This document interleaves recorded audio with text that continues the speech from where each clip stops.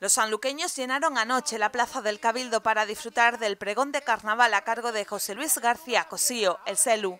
En una abarrotada plaza disfrutó e hizo disfrutar durante más de dos horas de pregón con su chirigota, echando mano de algunos de sus principales tipos y personajes para realizar su recorrido carnavalesco por la ciudad.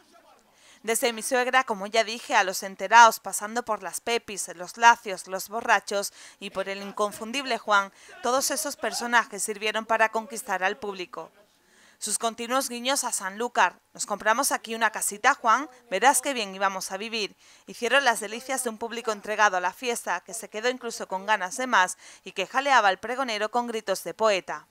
La manzanilla, la patrona, los toros, los langostinos, la tortilla de camarones, el chupete y el canijazo del alcalde de Sanlúcar, Víctor Mora, entre otras, fueron algunas de las muchas referencias que el CELU hizo a la ciudad y que despertaron las carcajadas de los sanluqueños, que disfrutaron de las coplas de los distintos tipos que han cosechado los premios más importantes del concurso del Gran Teatro Falla.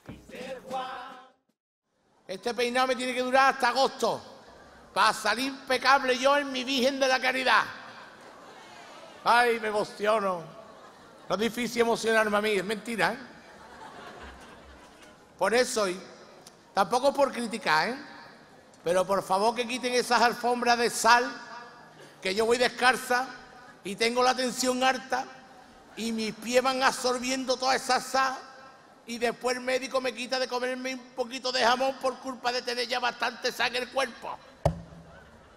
¿Cómo te lo digo? Seguro que le ha puesto mi nuera la za.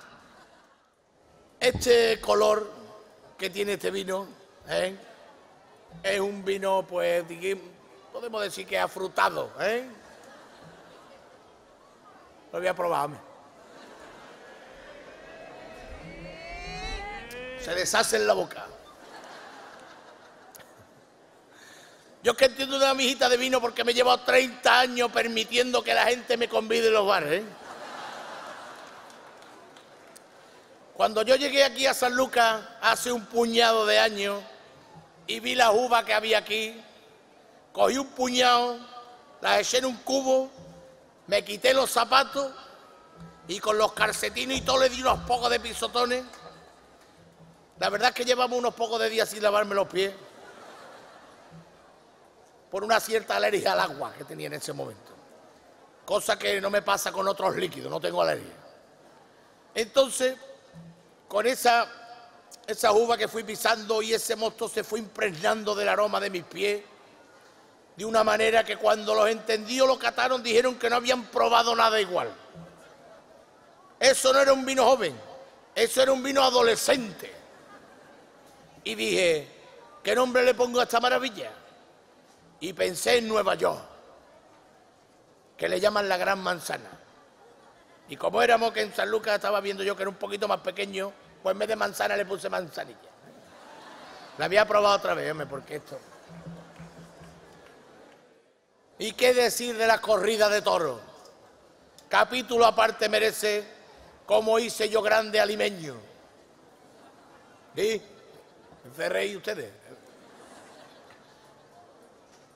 Cuando aparecía mi presencia por el pino, por el tendido 7, después de haberme colado todo hay que decirlo, inmediatamente se hacía un silencio en la plaza. Todo el mundo pendiente de mí.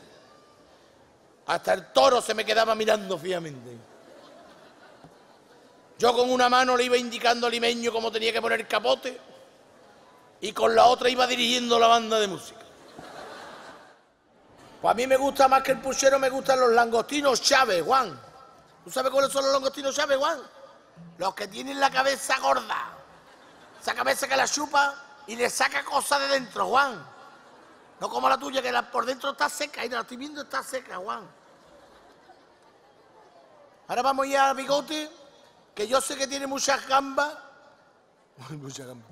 Muchas ganas. Muchas ganas. Muchas ganas de conocerte, Juan. Es que tú no sabes lo conocido que te has hecho tú, Juan. Nada más que hemos encontrado, hemos entrado por la Plaza del Cabildo y han visto dos perros a Juan y le han reconocido el tirón. Se han puesto los perros, Juan, Juan, Juan. súper famoso, muy importante. ¿eh? La gente no sabe, pero nosotros hemos aterrizado en el avión en la base de Rota, ¿eh? con el avión presidencial de Juan, venimos. El Air Force One, ¿eh, Juan? Bonito. Yo creo que nos deberíamos de comprar una casita aquí en San Lucas, Juan. ¿eh? Y pagarla tú, claro, por supuesto. Encima mejor de la barbiana y bajamos y nos comemos las papas niñas con un taco de atún y nos vamos para arriba otra vez. ¿Eh, Juan?